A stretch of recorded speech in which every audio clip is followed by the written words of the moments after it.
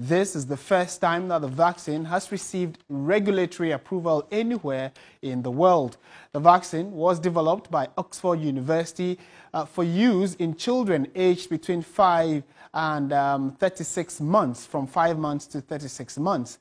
The vaccine called R21 appears to be hugely effective in stark contrast to previous ventures in the same field. Ghana's Food and Drugs Authority, the FDA, uh, has assessed the final trial data on the vaccine's safety and efficacy and its effectiveness, which is not yet public and has decided to use it. The World Health Organization is also considering approving the vaccine. The Serum Institute of India is preparing to produce between 100 and 200 million doses per year with a vaccine factory being constructed in Accra, Ghana.